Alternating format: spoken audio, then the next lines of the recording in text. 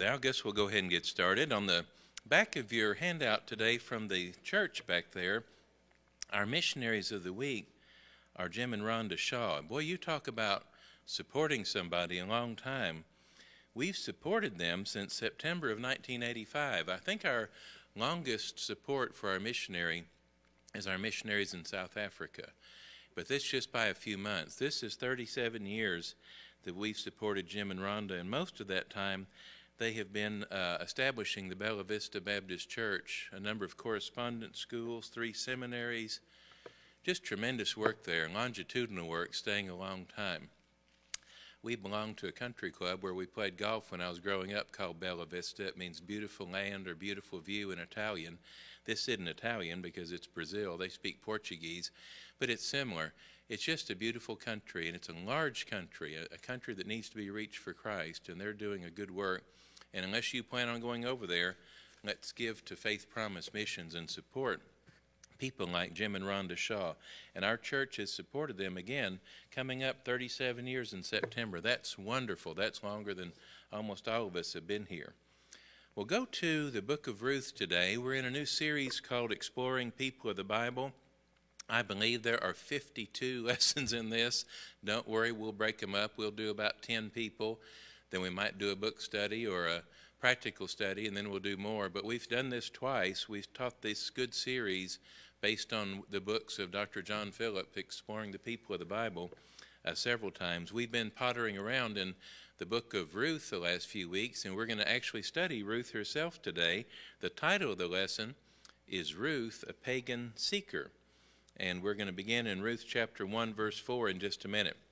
You've been with us the last few weeks. You know that Ruth was a Moabitess, and Ammon and Moab were a cursed race because they were products of incest, which is, of course, a horrible sin. She had been born and bred in paganism. The gods of her people were horrible gods, murderous gods. Uh, the Cunninghams are our missionaries to Bali. They told me a bunch of the wickedness of the gods, the little g gods of the people in Bali, and they're just projections of human wickedness into the sky. When Ruth was a little girl, she remembers lots of whispering and fear and hiding and tones hushed on the voices of her parents and uh, eyes watchful and face grave. She knew something bad was going on. You know, children are little, they haven't learned yet. Like uh, a coal miner's daughter, they may be ignorant, but they're not stupid. They have not heard about everything, but they know something bad is going on. And she, when she was a little girl in Moab, could tell her parents were afraid, and they were afraid of the priest. The priests were the enemy of little boys, and the priests were the enemies of little girls. The priests were powerful and cruel, and they served an assortment of gods. We've studied before that the main god, the main wicked god of Moab, was Chemosh, also called Molech and a great uh, movement to satisfy the wicked god Chemosh, anything that happened in that nation or that society, they thought perhaps it might be cured by sacrificing a young boy on the altar of Moloch uh, to the god of the underworld. They would take a little living baby and throw it on a red hot fire and roll it into the mouth of stone set up to represent the idol for the uh, god Chemosh or the god Moloch uh, as an inclined plane. The people would cheer. They would think that they had been saved by the, by the desire to kill a young boy. Also, uh, not only would they be found, uh, but years before, they might be marked out for future service. They'd come into the village, they'd see a young boy, and they would take a red dye that was an indelible dye that could not be removed and mark the wrist of that young boy, and that young boy would operate and live under the curse of death because no court in the land of Moab could overturn an ink mark placed by a priest. Death was to be marked on that little child. So when Ruth was old enough and played with the other little girls, she learned another part of their worship of false gods. There was also in Moab a fertility god if you wanted there to be crops that would succeed in the field, you needed to sacrifice to the pagans' gods in the fertility temple in Moab, which was basically a temple prostitution. It was just absolute wickedness. As, as it was with the wicked priests, they'd watch for the firstborn boys to offer up to the flames of Chemosh. They'd also watch for little girls to be pressed into the surface as a prostitute in the temple uh, service of the fertility god. So there was wickedness on the right hand or the left. There were threats to the little boys and the little girl. It was a nation cursed because it was worshiping the wrong gods who were not gods but were demons. So growing up, Ruth would be doubly frightened, not only by the burning fires of the smoking altar of Chemosh, but also by being pressed into absolute death and wickedness as a fertility prostitute goddess. That's the idea. Uh, this is the woman around whom the story of the book of Ruth came from. When you come to me and say, Well, I had a bad background, no, you didn't. Ruth had a bad background. Everybody, in a sense, has a background. Don't ever use that as an excuse not to come to God, to follow God, to walk with God, because you, will be outranked in the Bible every time. She came from a horrible nation and a horrible situation that rejected the God of heaven and worshiped demon gods in a very practical way.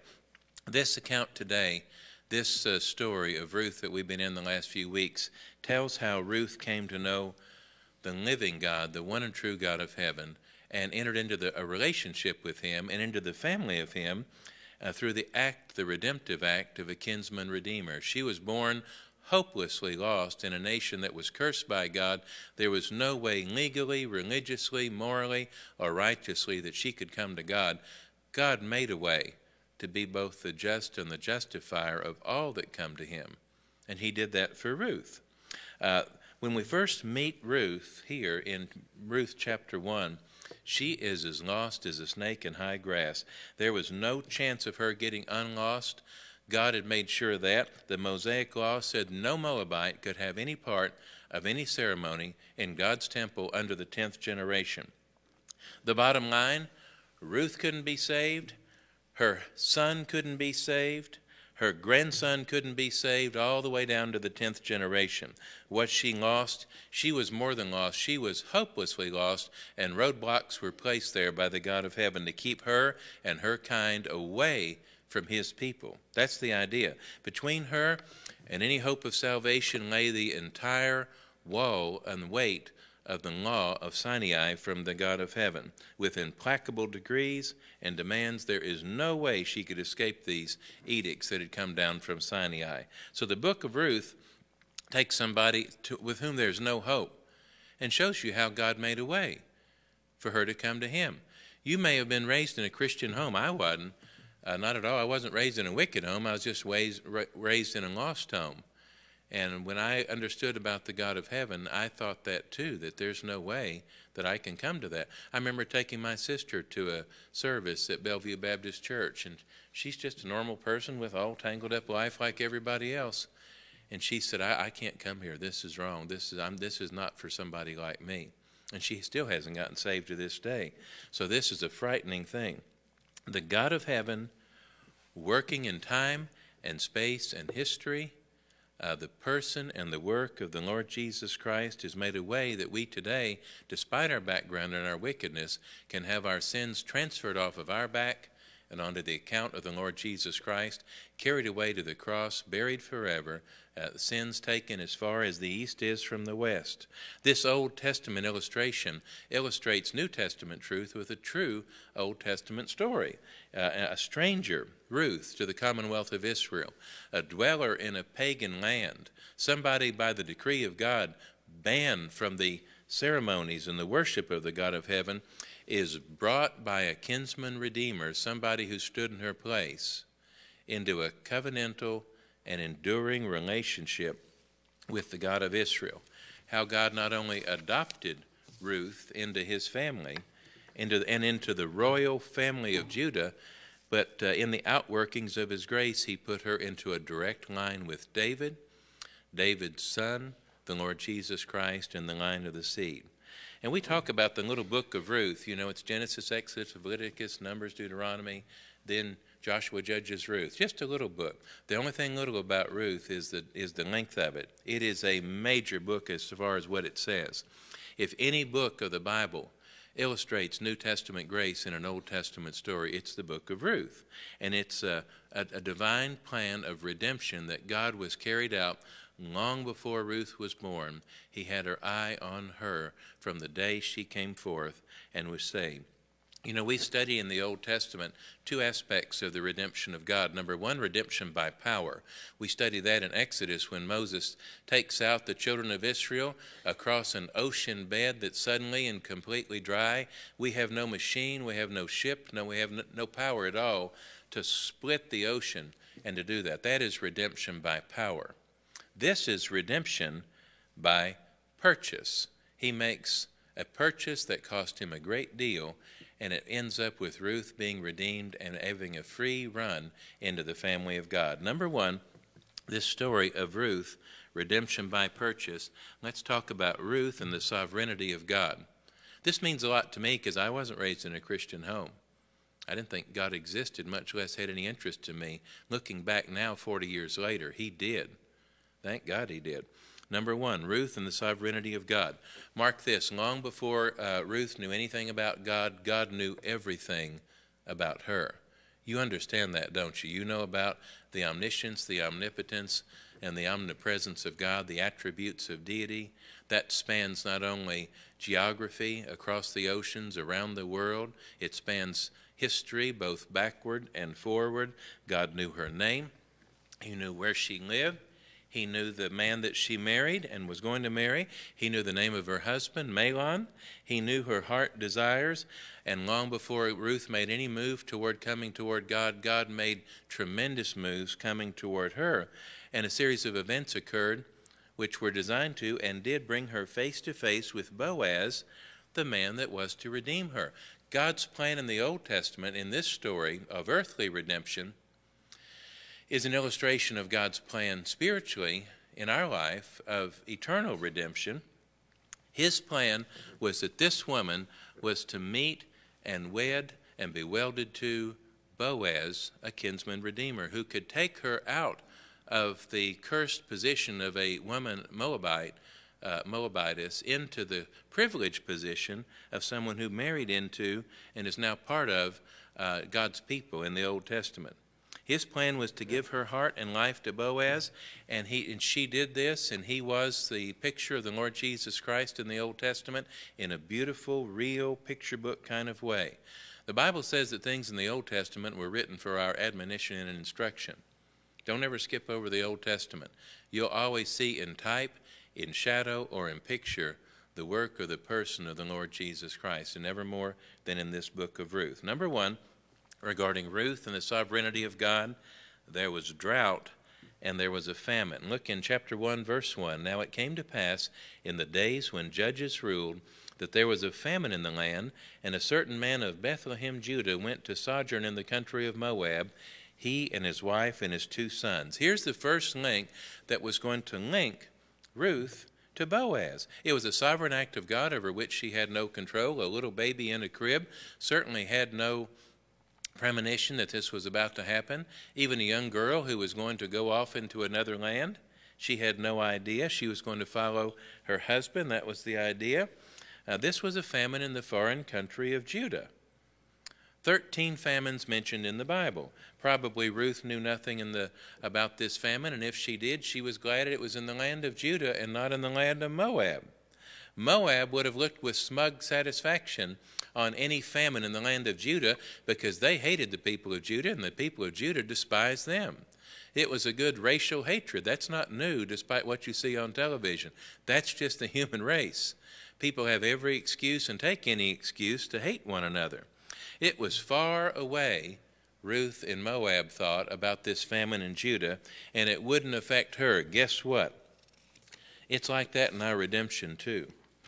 Long before we come to know God, He initiates a chain of circumstances that will bring us face to face with the Lord Jesus Christ. I was born in uh, January 1961 in Methodist Hospital in Memphis, Tennessee. I lived in Memphis till I was 14. My dad got a new job. We lived in Missouri for 10 years. And uh, after seven of those years, I came back to Memphis to go to medical school. That was in the summer of 82. And I had no idea. That I went was going back to Memphis because that is where I got accepted into medical school. I also got accepted into a school in Missouri and a school in Texas, but I thought, well, I'll go to the one in Tennessee. So far, so good. You know, you got to go where they take you. It's nice to be wanted. Uh, but I was a clever little person. I was a lost person, and I was absolutely convinced that I was one of the most clever people that I had personally ever met. And I mean, I was just very stunned with myself. And I wasn't going to listen to anything that a preacher said because I didn't think they were that bright. I thought they were kind of dim bulbs. And God put me on a third year rotation in dermatology at the VA Medical Center, one block from Bellevue Baptist Church, where Adrian Rogers had the men's Bible study every Thursday. And you could eat there for $3, and it was all you could eat. And I was broke and I was hungry. And that's where my friends wisely said, Why don't you go with us? For $3, you can eat enough, you'll explode and you don't even have to listen to the talk. Well, it was just like a fish being drawn into a net. The one man that after five minutes I thought, this guy's a lot smarter than me, a lot smarter. Now, don't wait to think that you're smart or dumb or anything. That has nothing to do with being saved. That was just the plan God had, moving me all around the country throughout the Midwest for 10 years, brought me back, brought me to that school, brought me to the third year rotation, brought me to that I could have done that somewhere else, but I did it at the VA. literally, you could see it. It would be like going to Weigel's from here. And I walked over there, and God put me in the live box and said, It's mine. Gotcha. And you know what? Within four or five months, God saved me. He absolutely deconstructed my false reasons for not getting saved. He said, Smart. He said, You're about the dumbest thing I ever saw, but I love you, and I'm going to bring you home. And I thought, boy, it just changed me in a few months. God did that. Often, these circumstances, you plug your story in. I told that story because it's the only story I have. Often, these circumstances are arranged before we are born. They're true in my life. I imagine that true in your life. This happened, that happened. We moved here, but we almost moved there. I went to school here, but I could have gone to school there. And God was just weaving and threading and the, the, the angles were coming in, and all of a sudden it all comes together, and God says, This is the place, this is the time. Now I'm going to reveal myself to you in my way, and you're going to come to me. He can't. He's not going to force me, but he's going to absolutely cut the legs out from under me and reel me in. At a time it never occurred to you or to me that these unfolding circumstances had anything to do with our coming to Christ, but the retrospect, retrospectroscope is clear. You look back and it's all clear. That's the nice thing about getting older. You see God's hand in all these things much clearer. Number one, a drought brought Ruth into position, a famine. Number two, discovery, a family. Out of that drought, here comes a family moving into Ruth's life from Judah to Moab, a family that believed in the one true God of heaven. They weren't spiritual giants. Well, good, because we're not either. God may use you when you're not the most spiritual person in the world, but you're a Christian, to be the only object and route of truth in somebody's life that you move next door to. Ruth never met anybody like this family. She liked them, she liked the mother, she liked the two children, the two sons, and she may have noticed that Elimelech and Naomi were not too happy with their boys being friends with girls like her. She was a nice enough girl, but she was a pagan girl, and they made it clear they didn't think much of her religion, and they didn't want their teenage boys getting involved with that kind of girl. Well, of course, the boys didn't really care about that. And they said, You know, mom and dad don't like you. They think you're pagans. Ha ha ha. Uh, you might steal us away. You know what? They did. they got married to the pagan girls there in the pagan land. Uh, as time passed, Ruth became well acquainted with the family. And the supper time talks and the after supper talks turned to the things of God. Ruth was not a rocket scientist. She wasn't a Bible scholar, but she was the best Bible scholar probably in that area and the only one that uh, Ruth knew of. Elimelech was a backslider, but he was a believer. He wouldn't sacrifice children. He may not have lived for the Lord and trusted him and stayed down in Judah like we wanted him to. Ruth was a sharp girl. She had questions about this, about the God of heaven, about the nation of Israel, about the plan of God. And you know what? They knew the answers to these things. They talked to her about Abraham and Isaac and Jacob. They talked to her about Joseph and the Exodus and the Passover lamb. They talked to her about the wilderness wanderings. They talked to her about why Moab was cursed, why Ammon was cursed. They sang the songs of Deborah and of Moses and of Psalm 90. And Ruth drank it in. I did that too. I remember I went to college in 1978 and I was uh, lived in a fraternity house and I was 17 years old, and I had no business being there. I don't know how in the world my parents got me there. But even then, God was after me, and I would get up and go to this Methodist church about 10 miles from where I lived, and I'd go there every Sunday, and I would listen to every word they said. I, I wasn't saved at that time, but I thought, this is right. And uh, I was reading C.S. Lewis and some books like that that took me out of atheism into believing in God. It didn't, and then believing that Christ was real I still didn't make a saving confession or a faith in Christ, but he was working on me. Ruth was being worked on. She heard about this. She heard about the one true God of heaven, a kind God as opposed to the gods of Moab, a holy God, a pure God, completely unlike the dreadful, lustful, savage gods of her people. And she was thrilled to know that there was an alternative to the pure evil and wickedness that was extant in her land. She didn't make a life commitment yet. She didn't make a, a heart salvation in the provision of God to come, but she was intensely and immensely attracted to that God and to just the same. Number three, not only was there a drought and a discovery, not only a family that she met, but there was death and there was a funeral. You say, oh, that's too bad. That is too bad, but understand this that was the part of God. God was bringing Ruth to somebody that would break down the walls between the worship uh, of her and the true God of heaven, and that man was Boaz. Too bad for Mahlon. I trust he was just a backslider, and we'll see him in heaven. But he had to go. God's got big plans to bring her to himself. Uh, tragedy, tragedy, tragedy. Three funerals, three caskets, three weeping widows. That's bad. You have years like that. Some years everything go well, and then everything hits at one time, and you have tragedy after tragedy after tragedy. Elimelech, gone. Mahlon, gone. Chilion, gone. Three widow women standing there, one a Moabitess, two a Moabitess, and the other one uh, shouldn't have been there in the first place, and she was going to go back soon. Three cold graves, three weeping widows out of God's position in the land of Moab, all of their mingling their tears together. The casket goes in the ground, the dirt goes on top and it's so sad and it hurts so bad and death is so horrible and the ache and the loss seems so unfair. She could have become like Naomi. Remember, Naomi was pleasant, but she said, Call me Mara. I'm bitter. Don't call me pleasant. She was a hard, mean woman for a long time after what she'd gone through. Ruth could have done the same thing. Guess what? She did not the God of heaven was working on her heart through all of these good circumstances and bad circumstances. She didn't fall into that pit. You know why? Because she had learned about the God of heaven from her new neighbors and her new friends and her mother in law. She had learned that God is too loving to be unkind, too wise to make any mistakes, and too powerful to be thwarted in his plans.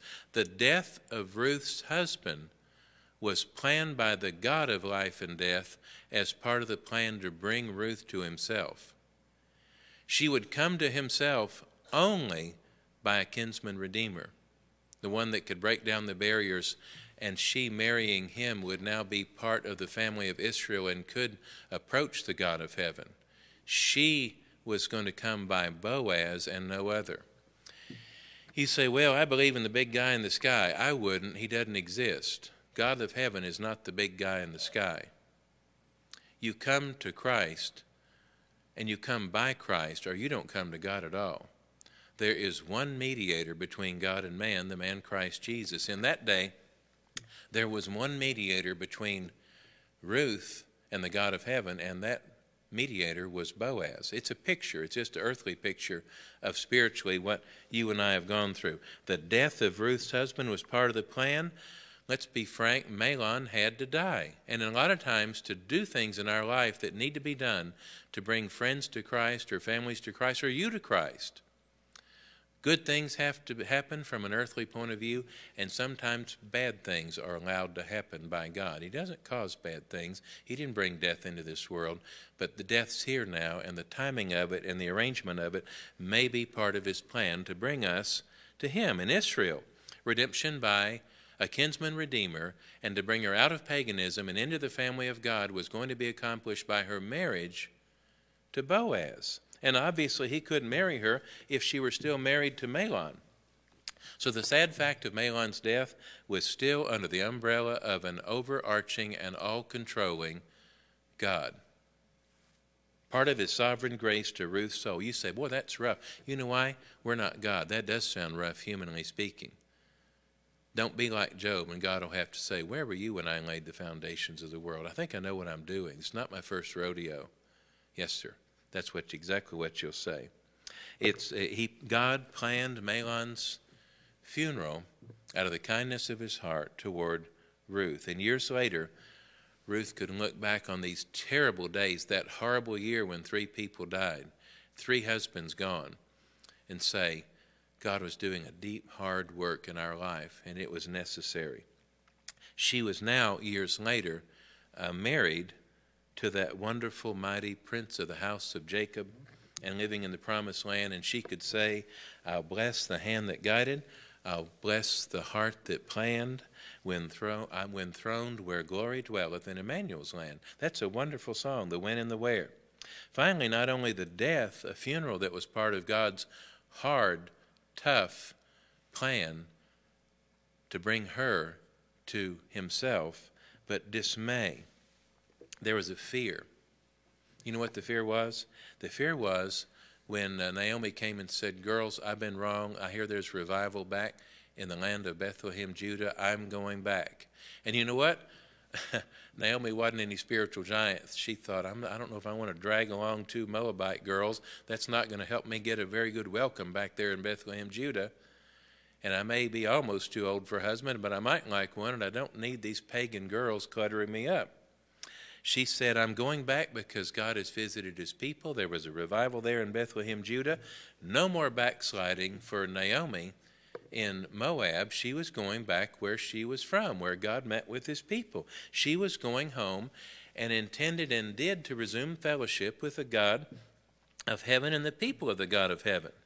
Well, what about Ruth? I don't think Naomi was thinking that much about Ruth, and not that she didn't like her, but she had bigger fish to fry.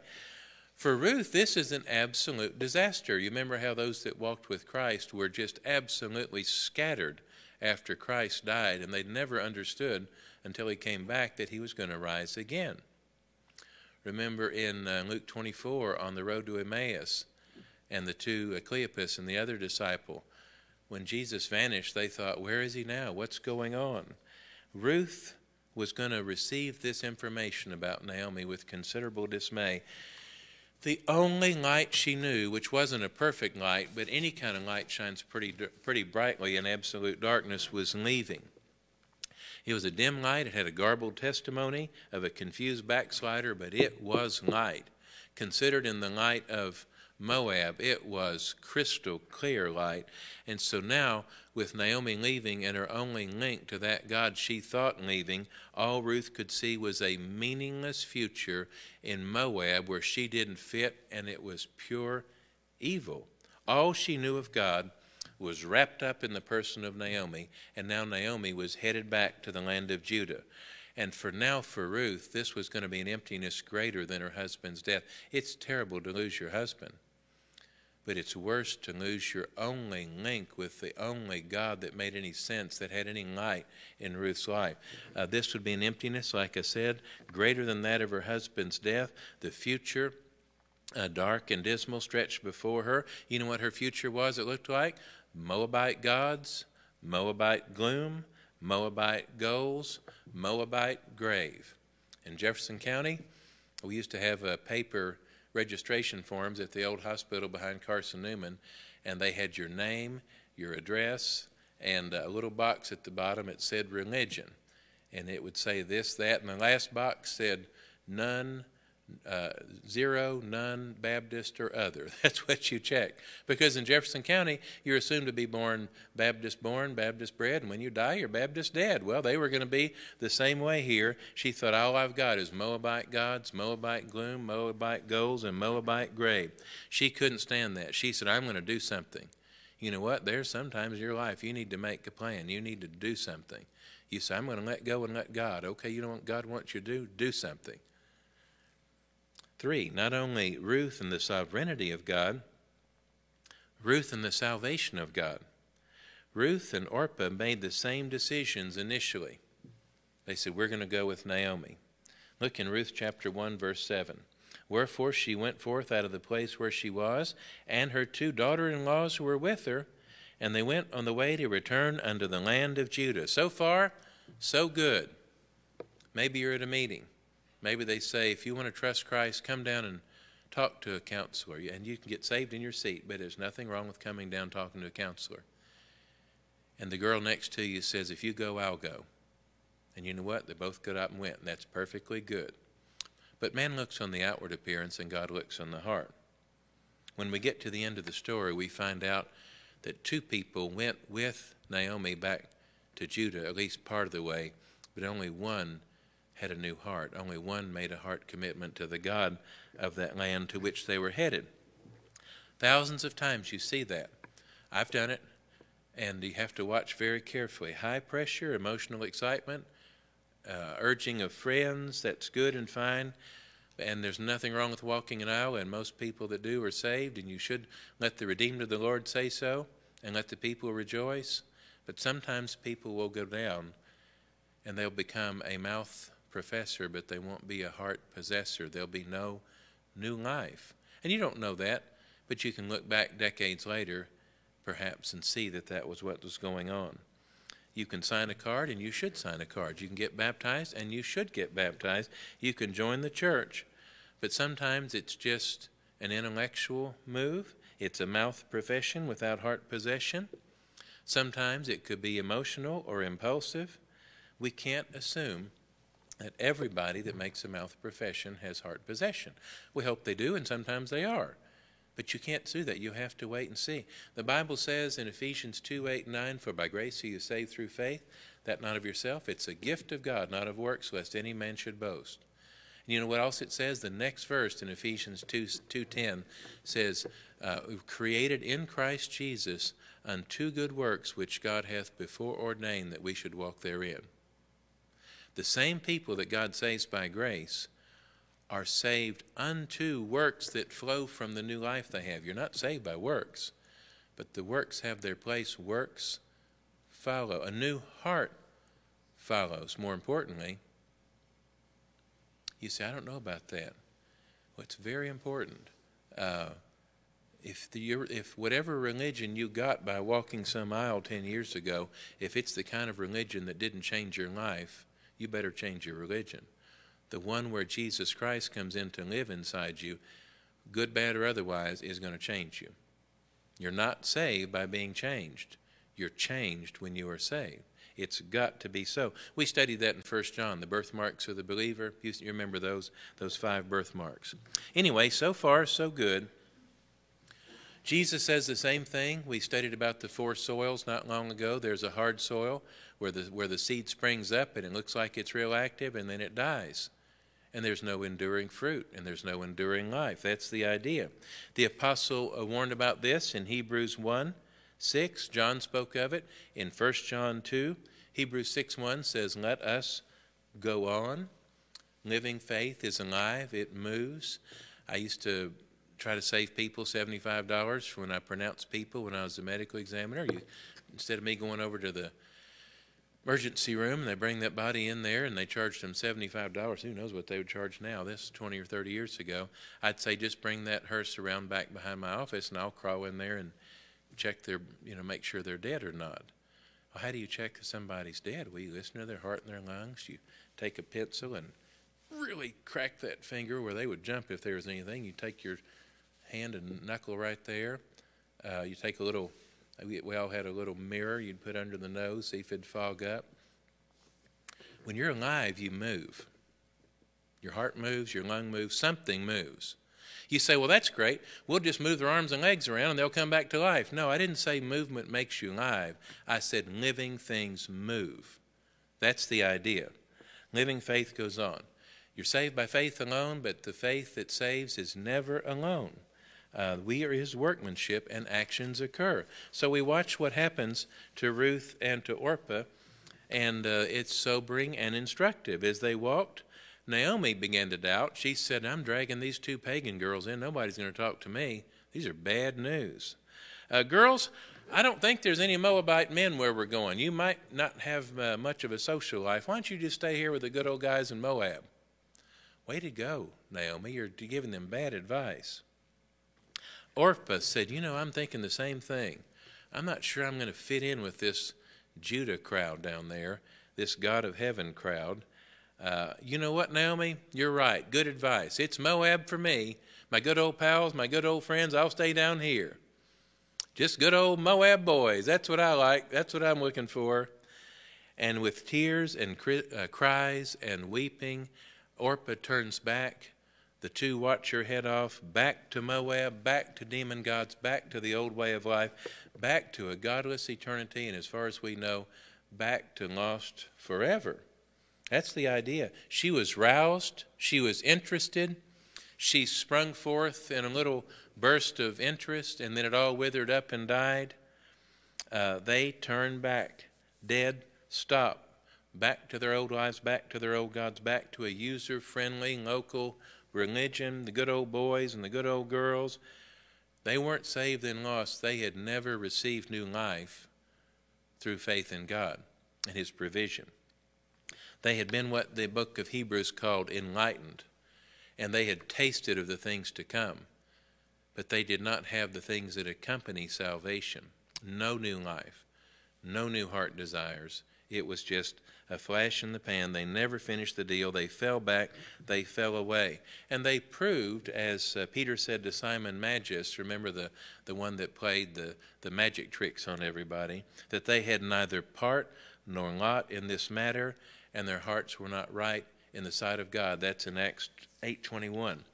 In uh, 1 John, what is it, 2.16, I think, it says, They went out from among us because they were not of us if they had been of us, they would have doubtless continued with us, but they went out from among us that it might be made manifest that they were not of us. You, you don't, you're not somebody's judge, but after 10 years of not a bit of change or 20 years of no new life, you've sure got a suspicion, and that person would certainly know. It is a sobering, damning possibility that you can make a mouth profession and have no heart possession of Christ his death for us or his new life. 2 Peter 1:10 says to make your calling and election sure. And how is that? Let us go on, he said. So Orpah turned back to Moab. Slowly, slowly she drew away from the other women. She set her face, un- unfortunately, toward the city of destruction from which she came. But this is a human tragedy, too. They loved each other. It's, it's tears. It's a little wave of the hand. It's a dip in the road. It's a crest in the hill, and suddenly she's gone. You ever taken somebody to the train or the airport that you're not sure you're ever going to see them again? And they'll wave out that window, and then they're gone. That hurts. That is really rough. As for Ruth, she clung to Naomi, her link to the new life, to the new God. And although she didn't know it, uh, the new kinsman redeemer, Boab. Back, Boaz, back to Moab? No way. Naomi wasn't sure. Look in verse 15. She said, Behold, thy sister in law has gone back to her people and unto her gods. Why don't you return after her too? Listen to what Ruth said in verse 16. She said, Entreat me not to leave thee or return from following after thee, for whither thou goest I will go, where thou lodgest I will lodge, thy people shall be my people, thy God my God, where thou die, I'll die, and there will I be buried. The Lord do so to me, and more so also, if aught but death part thee and me. You know, that's read at weddings, and it's appropriate, even though it's out of context. The context is a woman and her mother in law.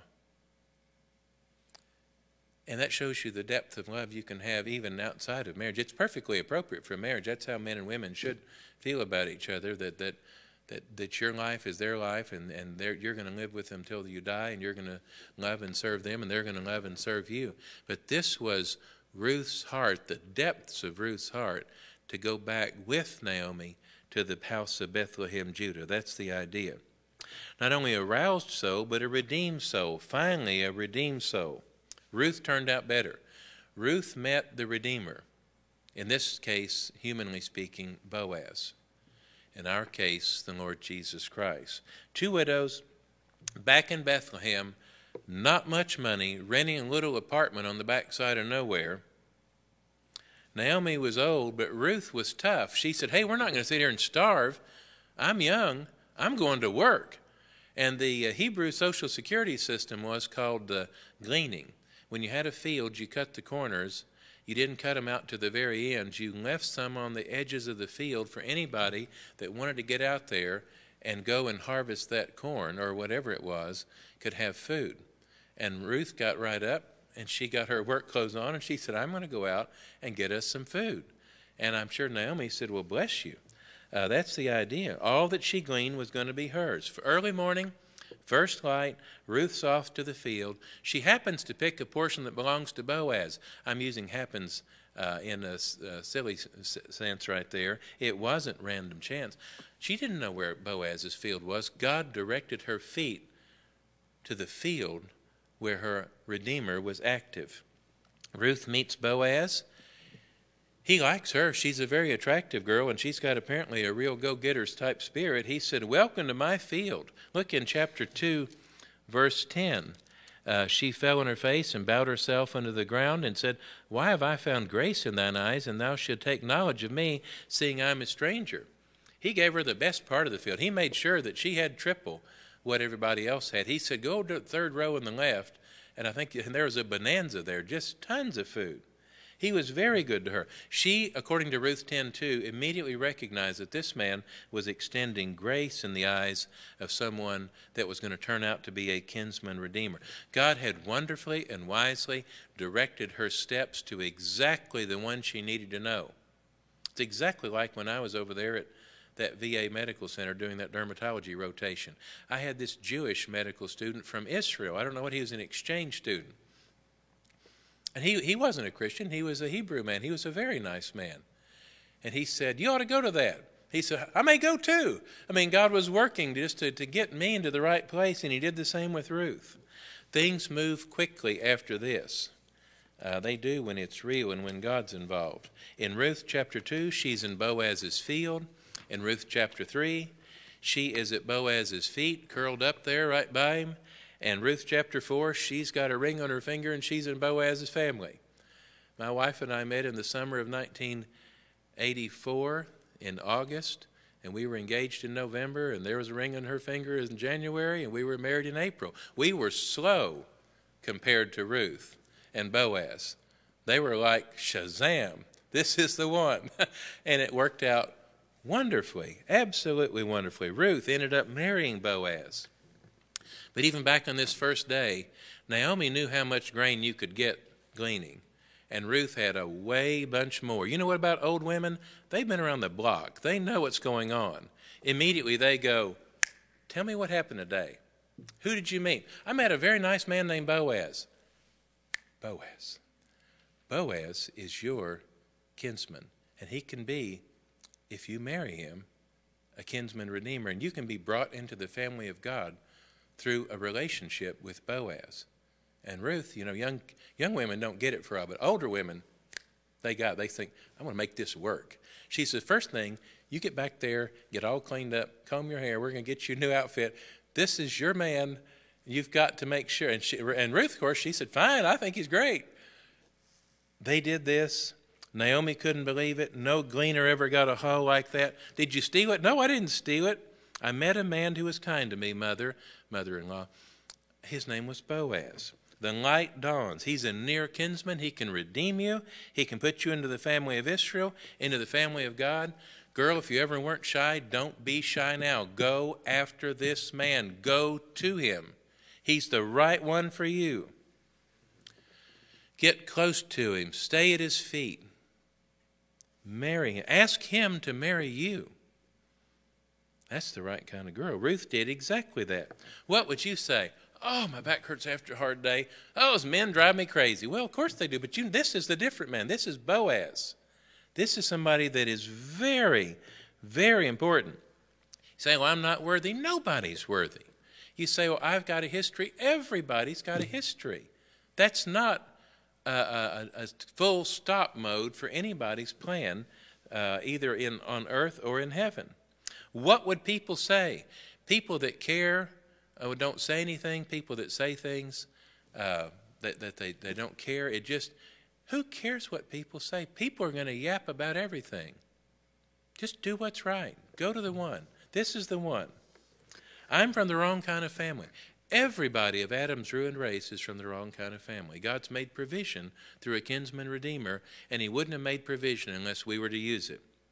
Ruth went straight to Boaz and pretty quick uh, had him asking her to make her his own. And he did, and he made her his own. If you studied the, the story, at great price. He had to work very carefully and use a lot of his resources and buy her out of this terrible situation from even another uh, member of the family who was uh, very tight with his money and he was able to trick him. This was at great price, at great cost to himself, as Ephesians 2 says, for the great love wherewith he loved her. And that's what Christ did for us at great cost for people that didn't deserve it. Christ purchased our salvation at great cost to one that came from a bad family that was completely outlawed from the worship of the God of heaven. Boaz brought her in. And not only did he bring her in, they had a child, Obed, and a grandchild, David, and a great great grandchild, the Lord Jesus Christ. This is God going there. That's exactly what I'm going to do, working thousands of things through hundreds of combinations and permutations, and in His sovereignty, Ruth wins, Boaz wins, Christ is coming, Son of Man, Redeemer, great love. So Orpah stayed in darkness, lost. Ruth married Boaz and was now no longer an outcast, but wedded and welded to a mighty prince of the house of Judah. She was now joint heir with him. They had all things in common, dwelling with him. Question Which will you choose? The Bible says, Choose you this day whom you will serve. You want to stay with your Moab life, or do you want to come through Boaz to the house of bread and praise? To the worship of God's race. Every member of Adam's ruined race can refuse this if you want, like Orpah, and cleverly choose to die. Or you can come, like Ruth did, to the Redeemer that God's placed for us, which is a thousand times greater than Boaz, into life and love and liberty and fullness. This is a wonderful, wonderful story, Ruth. Father, thanks for today and thanks for the illustration and thanks what you did in my life and almost everybody's life in here.